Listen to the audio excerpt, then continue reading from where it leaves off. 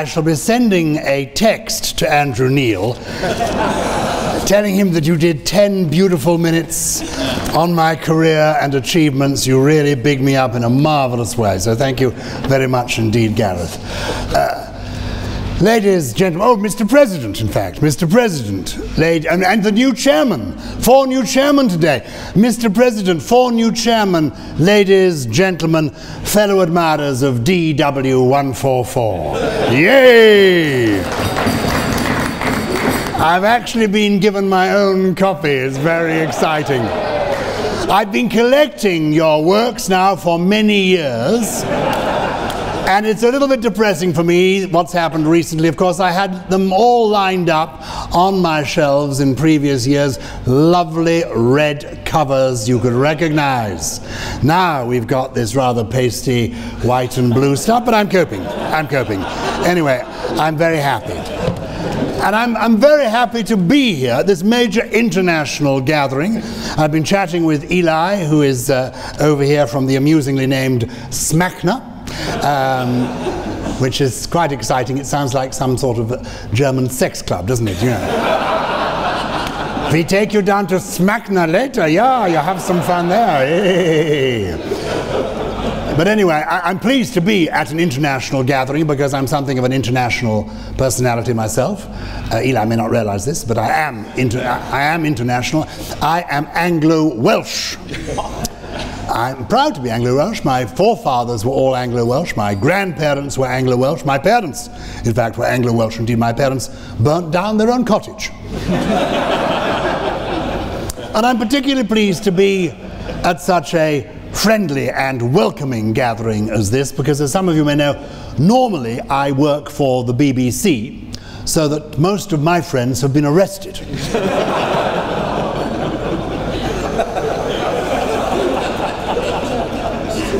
I'm actually tagged myself, but that is entirely for domestic reasons. Uh, and if you're sitting there wondering why I am here today, if you are wondering why I am here today on this, well, it began as rather a balmy day, this balmy Thursday in late May, if you are wondering why I, of all people, am here today, if you're wondering why I'm here today, then already we have something in common. I suppose I'm here because I was invited. I, I, do want you to know that the, the president and the council of uh, B&ES, I do want you to know the president and council, if they do nothing else, that's the end of that sentence. That's not entirely fair. They do plan ahead. And the invitation for me to come and say a few words at this gala gathering was extended some months ago. I had gone away to um, Helmand province or to get away from it all, and uh, went there for a couple of months in order to finish my novel because I'm quite a slow reader. And um, there I was in the tent that I happened to be sharing with Jim Davidson and Katherine Jenkins, and the mobile phone began to pulse. I picked it up, blew off the sand, and after I got through all the business of would you accept a transfer charge call from Dundee, I found I was talking to none other than your remarkable president, the great Bruce um, uh, Bissett on my left here. The toast is, have you, I, I, hope you've seen him, I hope you know him. He's been our president since July, or last July, he's got until this July to go, a remarkable man. You probably haven't understood very much that he said during his presidency. and the joy is that he's president this year because probably next year he wouldn't be eligible.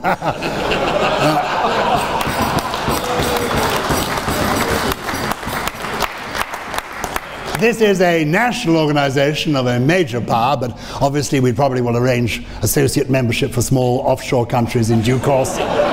if that's the way you choose it to be. Now, Bruce called me um, from uh, Galloway. Uh, that's, that's the name of the company. And he said, Is that Gal? I'm, I'm, going to translate it into English so you get my drift.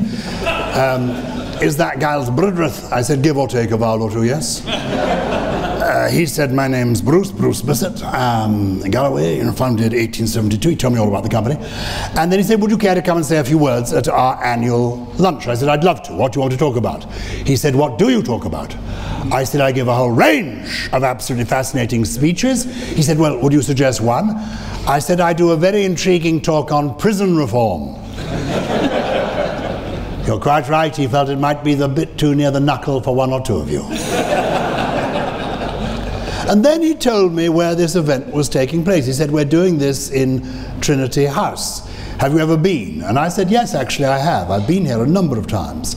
And the first time I came to this wonderful, fascinating historic building was literally 40 years ago this month, May 1974.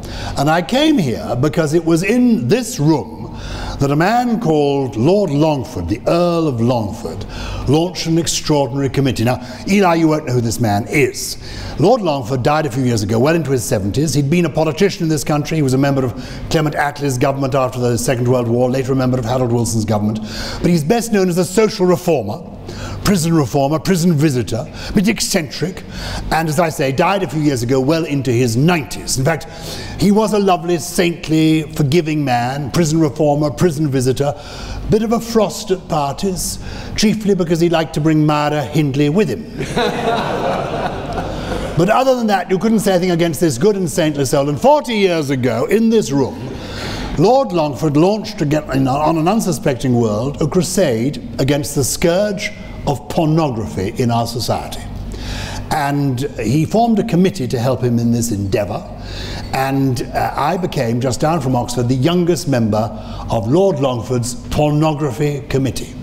I just want you to know the calibre of person that Bruce felt would be appropriate to say a few words here this afternoon. I genuinely was a member of this pornography committee. I still have the raincoat I bought at the time. My wife has sewn up the pockets, but it's down there in the cloakroom. Uh, and we had our first gathering in this room. I think uh, Lord Longford must have had some association with Trinity House. Anyway, he arranged for the meeting to be here. And it wasn't just me and Lord Longford on this committee, that would have been a bit kinky. Uh, as well as Lord Longford and myself on the committee, there was a bishop, an archbishop, uh, a rabbi, and of course Cliff Richard. And after the inaugural luncheon, at about this time in the afternoon, Lord Longford got up, said a few words, and then from under the table he produced two carrier bags one Sainsbury's bag, one Tesco's bag. And from these bags, he emptied onto the table a mountain of pornographic material. The most revolting magazines you can possibly imagine. And ladies and gentlemen, we were obliged, after luncheon, the bishop, the archbishop, the rabbi, myself, Cliff Richard, Lord Longford, we were obliged to sit a, in a solemn circle at one of these tables, flicking through these disgusting magazines. We must have been sat here three hours, three and a half hours. Truly appalling. But I'd like you, if you would, to visualize me 40 years ago, just down from university, in this very room, seated in a solemn circle, after lunch, with a bishop, an archbishop, a rabbi, myself, Cliff Richard, Lord Longford, flicking through these disgusting magazines. Oh no, oh, no, oh really, oh no. Oh, oh look, Rabbi, one of yours, I think. I don't think that is the reason I'm here. I think probably I'm here is because I, I used to be a member of parliament, uh, and I think I was actually a junior minister at the Department of the Environment when the Department of the Environment has something to do with housing and housing regulations, and it may have been thought that I know something about what you do. I know nothing about what you do. Uh, and I knew even less, though, when I was the minister responsible for what you do. I have picked up a little since then. Um, and I'm no longer a member of parliament. I do want to make that emphatically clear. Uh, this is a respectable occasion. Um, I'm not, though actually when I was a Member of Parliament, I was a respectable Member of Parliament. I dug my own moat.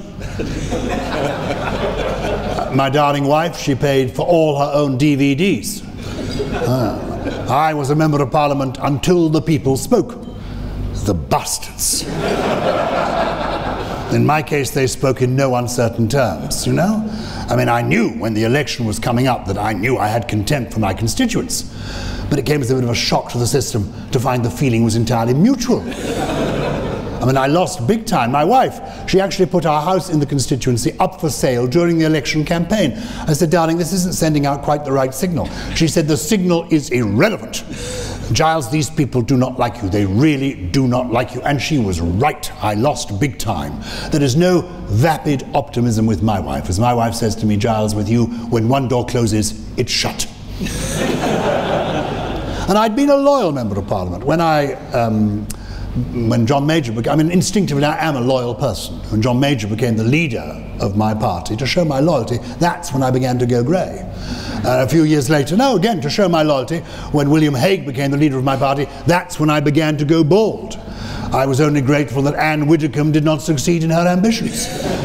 Who knows what might have happened? Uh, and then a couple of years ago, no, four years ago now, with the advent of the coalition, when those two beautiful posh boys got it together, Nick and Dave, you know, both over six foot tall, rather elegant, well into their 40s now, looking younger, lovely glossy hair, when they came into the Rose Garden at number 10 and announced the coalition as though it were a civil partnership ceremony, I knew that gay marriage was on the agenda. And it was just, I mean, if you, if you can cast your mind back four years ago, if you can picture those two posh boys coming down the stairs together, sashing down the stairs together, not actually holding hands, but pinkies definitely touching, you know, and they came up to the podium together in their slightly better than M&S suits and they're mirroring one another body language and they're matching ties and they made their vows before an expectant nation. Anyway, I watched it on live television with the sound turned down and my Judy Garland CDs playing in the background. And that was the moment I thought, oh dear, I'm going to have to come out as a little bit gay. That is the way the world is going, and it is almost compulsory now on the Conservative front bench. I can tell you, the, well, the Conservative Party is certainly no longer the party with its back against the wall. but I'm not sorry, in many ways, no longer to be a Member of Parliament. Because, to be serious for a second, uh, when I was a Member of Parliament, uh, well, it was different, and I think it has changed. The fulcrum of debate is no longer the chamber of the House of Commons. When I first became an MP, there were three names. They went up on the board. You saw the names of three men. When they were speaking, you went into the chamber to listen to them. And they were the names of three guys who became MPs in the same year, 1950 Tony Benn, Ted Heath, Enoch Powell. Very different men, very different opinions. But when they got up to speak, you listened to them with respect because they spoke with authority, with conviction, from heart, using head. Never, ever, ever with material handed down to them by young men in red braces. They simply spoke from their experience and were listened to because you knew they spoke with integrity, whether you agreed or not. That doesn't happen rarely now. It happens not at all. The fulcrum of debate has moved from the chamber of the House of Commons to the television studio with Andrew Neil, to the radio uh, studio, to the newspaper column. It's no longer happening in the chamber of the House of Commons. As a backbench MP, what you say in the chamber goes virtually unreported and unrecognised. Turn on the television any time of day or night, there's nobody in the chamber except for the weekly knockabout of Prime Minister's questions. And the other key role of the Member of Parliament, of course, as well as calling the government to account in the chamber, which is ignored, is in committee, where you're there to scrutinise the legislation. And the legislation is now so complex and there's so much of it that it is impossible to scrutinise. Uh, Gareth mentioned that I've been a Lord Commissioner of the Treasury. This means that for four years I served on the Finance Bill Committee. This is the committee that goes through the budget year in, year out. And the last budget I, committee I sat on, the paperwork, I mean, you know, you may think DW144 is complex, and it is, and it's quite full. It is as nothing compared with the budget, which is about a document literally about eight times that thick, this much month to go through each year in the finance bill. And out of curiosity, the last year I was doing this, I went down to the library of the House of Commons and I asked the librarian if she could find for me the finance bill of the year in which Winston Churchill, a portrait of whom hangs in this very room, in the year in which Winston Churchill was last Chancellor of the Exchequer.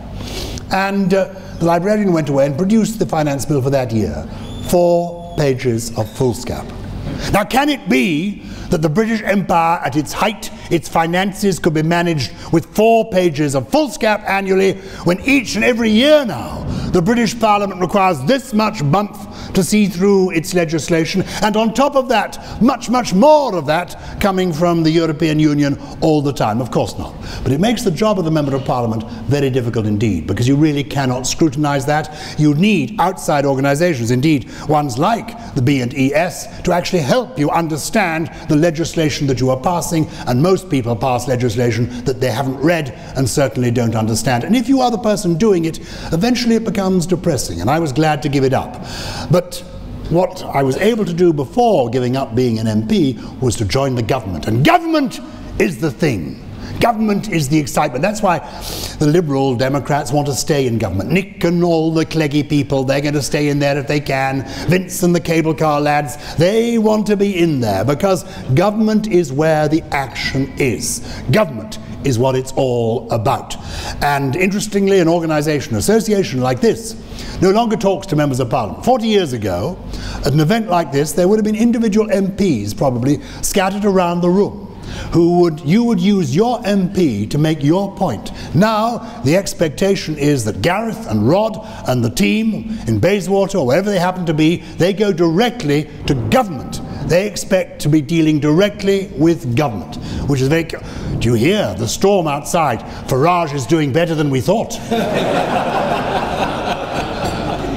clap of thunder. It's interesting, though, that it is frustrating for people to be a backbench MP because they're not used. It's the government of the day that is in command. And I eventually joined the government. It was very exciting for me. I ended up in the Treasury. And I want to mention that for two reasons. One, that I, I, am going to be honoured to help give out these um, awards a little bit later.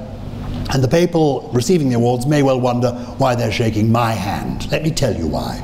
Because I eventually ended up as a Treasury junior minister, uh, Lord Commissioner of the Treasury, Treasury Whip, and this is the person who signs the government checks. Every check is signed by, every big check, every big amount of money spent by the government is signed by a minister. And the Lord Commissioner of the Treasury signs the, the big checks. The last check I signed was for 136 billion pounds. Yeah, serious money in those days. now, I appreciate it would hardly get the Royal Bank of Scotland through a difficult morning. but in my time, it represented big bucks. And they said to me, with these huge checks, of course, the billion pound checks, you can't be signing them alone. There will need to be a co signatory. I said, who will that be? They said, It'll be the head of the Treasury. I assumed by that they meant the Prime Minister, because it says in the door of number 10, First Lord of the Treasury. They said, no. The Prime Minister is indeed the First Lord of the Treasury Board. The Second Lord of the Treasury is the Chancellor of the Exchequer. Then we come down to attendant minnows like yourself, Lord Commissioner. But it's HM Treasury. You will sign these huge checks with HM, with the Queen. So I went down the mile with the government checkbook to sign these huge checks with the Queen. And the first time I did this, I wasn't sure what the etiquette was. Which of the two of us, you know, should sign the check first? Didn't want to patronize the Queen just because she's a woman. or indeed pull rank because I was the, the elected one. But anyway. Uh, on that first occasion, she was holding the pen. She seemed to think she should sign first, so I let her. But, but on the last occasion, when we signed this huge cheque for 136 billion pounds, social security payments first quarter. After we had both signed this huge cheque, I said to the Queen, You know, Your Majesty, the way the government insists on the two of us signing these huge cheques.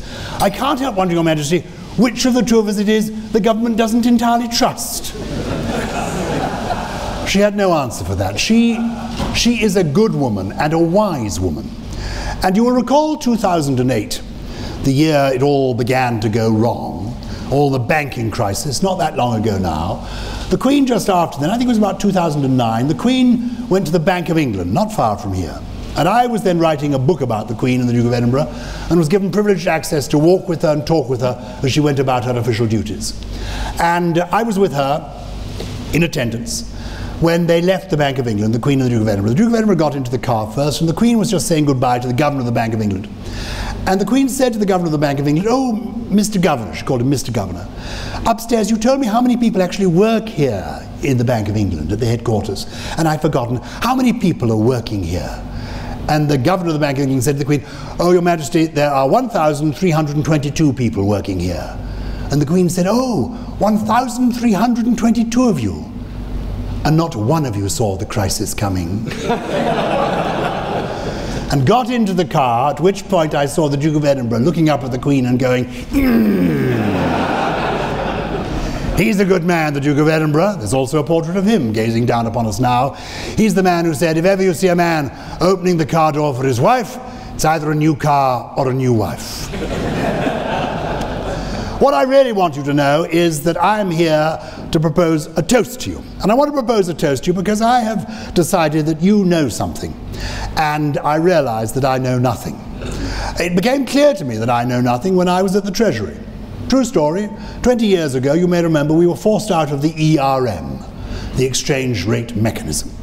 And I was in the Treasury on that day. I went in in the morning with David Cameron, who was then an office junior at the Treasury, as was I. And we went into the Treasury that morning not knowing what was going to happen. All the crisis began to happen. We didn't know quite what was happening. The permanent secretary had a book that he opened. And this told us what to do in the event of this emergency. Put the interest rates up. So we turned on the computer and the interest rates began to go up. The interest rates were then in the gift of the Chancellor of the Exchequer. And up they went a bit and a bit further and a bit further. You may remember we got them up to about 16% that day, even 16 and a half, but nothing seemed to be happening on the computer screen to the markets. The permanent secretary began banging the top of the computer. thinking maybe it was the computer, but it seemed to be that our system wasn't working quite as planned. And um, eventually, as you will recall, having taken the interest rates up, we brought them down, and then we exited from the ERM. When we went in in the morning, we didn't know what was going to happen. While it was happening, we didn't know what was happening. When it was over, we didn't know what had hit us. the truth of the matter is, nobody knows anything. So I say, thank goodness for DW144. You know what you're doing. Your book works. It was only when I left the Treasury and discovered the joys of SFG 20 that I realized in this world there were some people who knew what they were doing. The politicians have no idea, ladies and gentlemen. I don't think you realize this. They have absolutely no, they mean well. They certainly mean well, but they really don't know. You know, you may have, I mean, I, am a great one for our regulation. We love B and ES, but uh, when things get desperate, we will turn to a SMACNA for advice as well. Um, and, but, you know, I can tell you, there's nobody at any department in Whitehall who knows the difference between SMACNA industrial and SMACNA regular. So if we put a bit of tin on that's too thick or too thin, nobody will be any of the wiser in Whitehall. So just get away with what you can. Um, but what I'm trying to say to you, ladies and gentlemen, is can I just say, I think you're wonderful. I don't think you probably realize how wonderful you are. You actually are doing something where you know what you're doing, it matters to you what you do, and you want to do it well. And I come from a world where we just mumble around, hoping for the best, and have no idea at all what we're doing, um, but don't really like to admit it. So I really salute you. And I'm so pleased at this extraordinary gathering. It's a lovely room to be in. I think it's an amusing room to be in, a clever choice, if I may say so, Rod Garrett and the team to come to this room year in, year out, because clearly the ventilation doesn't work as well as it should. and some people think that they can shortcut when it comes to cleaning ventilation. It's not good enough just to install the system, you've got to service it on a regular basis. Clearly they don't, and how brilliant of them to advertise the fact by bringing all these experts into a room where frankly most of us are going to faint within the next half hour. it's a brilliant scheme. So, what I love about this wonderful organization is clearly you are as modern as tomorrow. You're producing the new standards, you're setting the new standards, but you've got a lot of time for yesterday.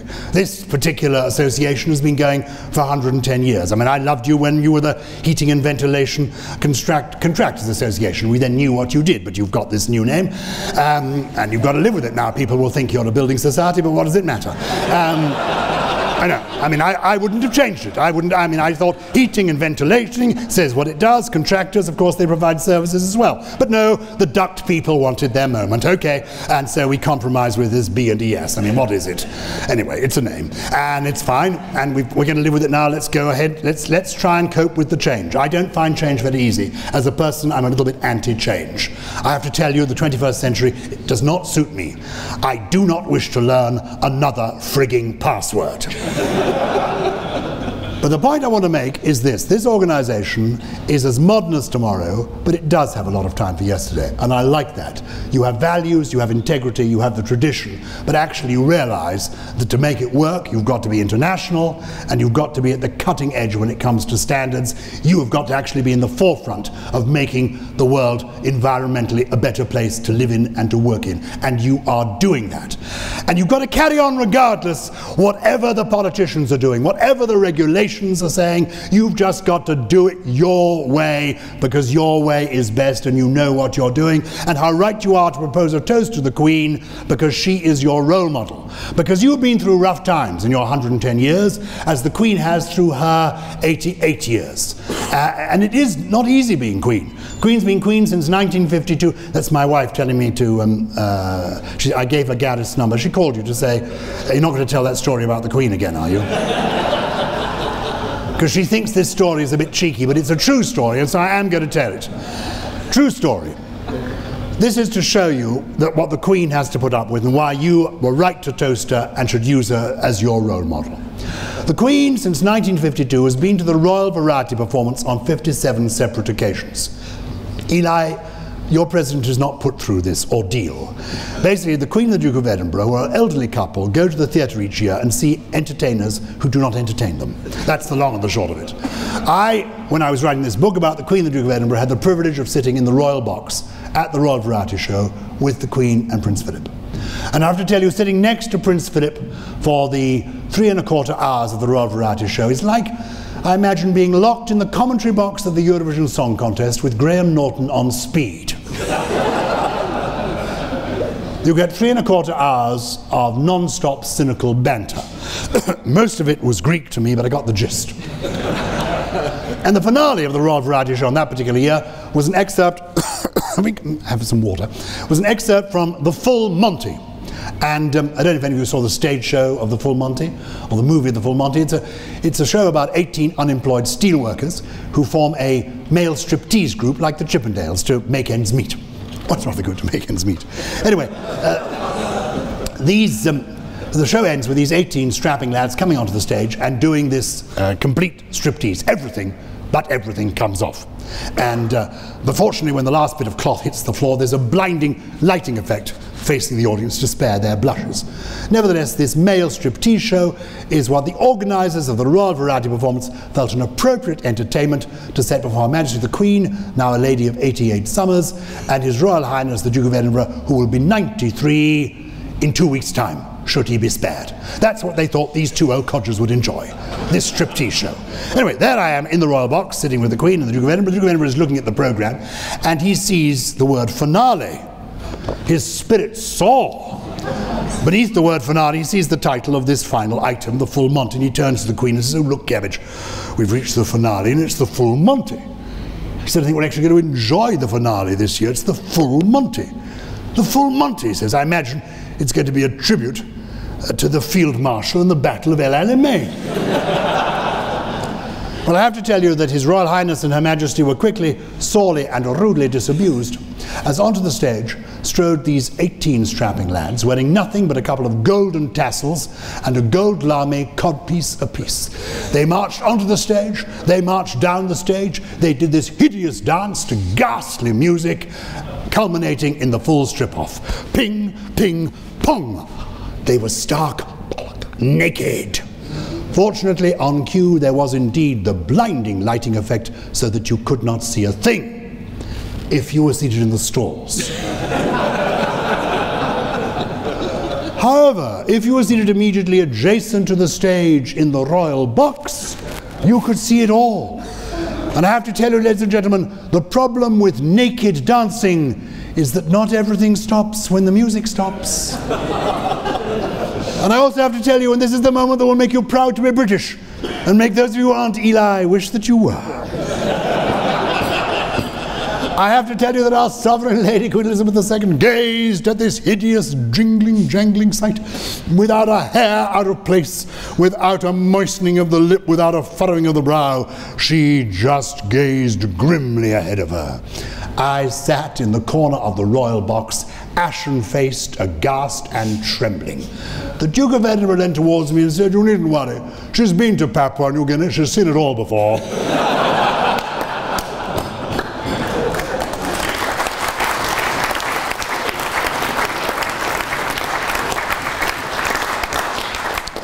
So you have proposed a toast to the Queen, and I want to propose a toast to you. I have to tell you, I had no idea what this organization was about till I got here today, uh, and I didn't realize it was as sexy as it is. Um, uh, or no, if I may say so, as important as it is.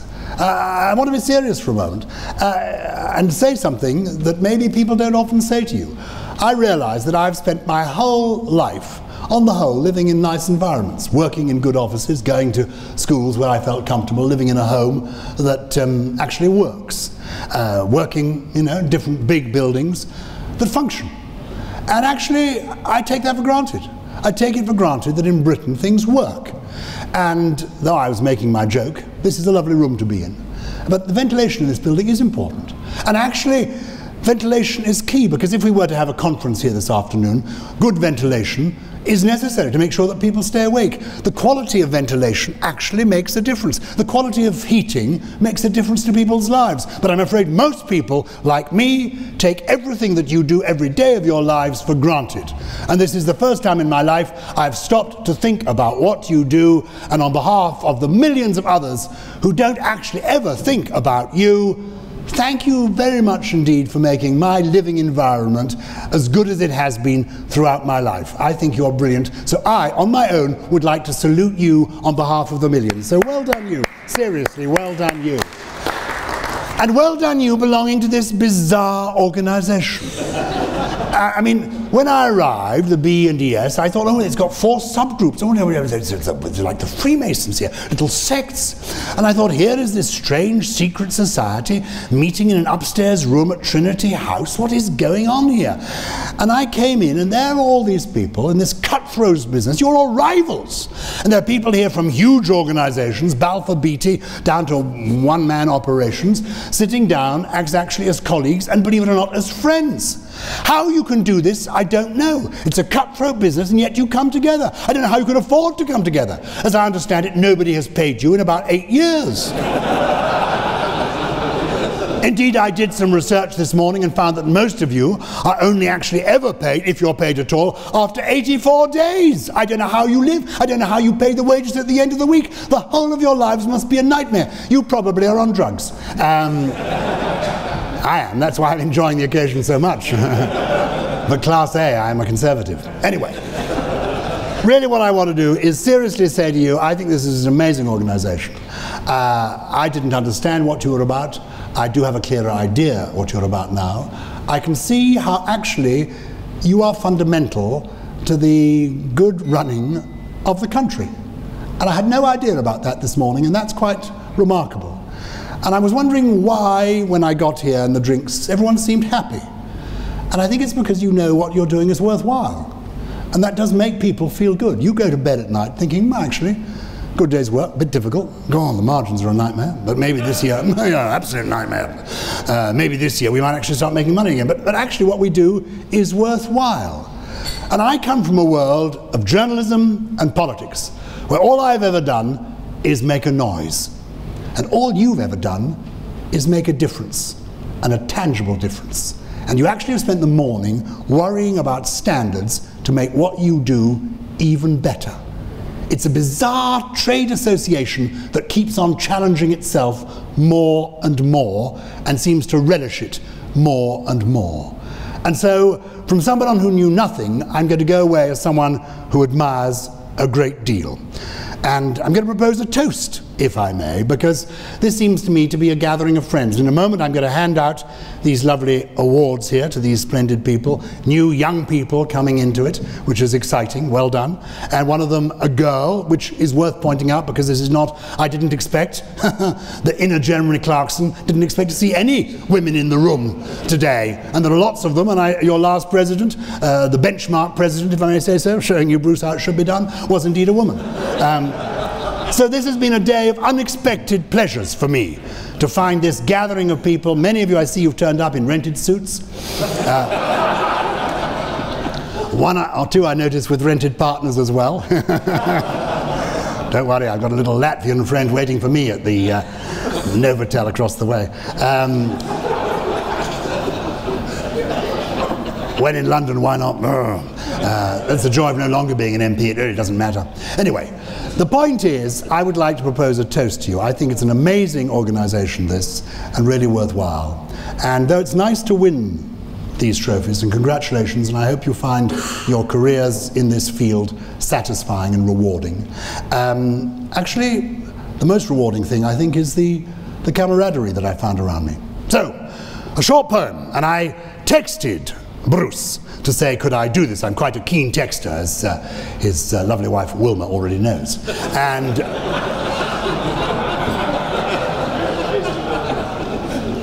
I just hope I get this poem right. Diction can be quite difficult in a room where the ventilation's a bit challenging. Uh, first job I had as a young actor, I, I, used to be an actor, played Hamlet once very badly. They threw eggs at me, went on as Hamlet, came off as omelette. But the first job I had as a young actor was on a radio drama. I just had one line in this radio drama as a young detective. Came 40 years ago, came up to the mic, live drama in those days, Saturday afternoon theatre, came up to the microphone, one line in this drama, live radio, this was my one line. That was the chair Schmidt sat in when he was shot. I, I, I, just said it too quickly, didn't come out quite right. So I hope this poem comes out right. Because this, for me, sums up the special nature of this occasion. And as I say, I texted Bruce to say, can I end on a serious note with a short poem? He texted back simply to say, no, you can't. I assume the spell check is faulty on his own mobile.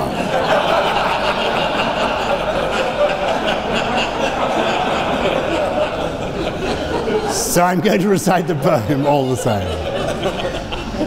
Four lines by Hilaire Belloc that for me sum up the special nature of this unusual lunch. From quiet homes and first beginning out to the undiscovered ends, there's nothing worth the wear of winning but laughter and the love of friends. Thank you for your laughter and well done on the friendship that I think is the secret of your success. Thank you.